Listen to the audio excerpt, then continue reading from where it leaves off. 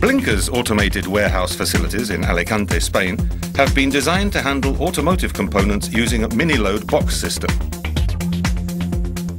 This type of storage system uses the goods-to-man principle, where boxes are handled automatically by a set of seven stacker cranes, which place goods in front of the operators performing the picking tasks.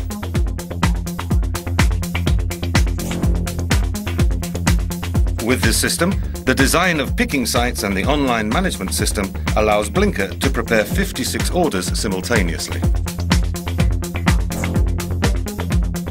The system integrates classification and shipping procedures in forwarding prepared goods to the end customer.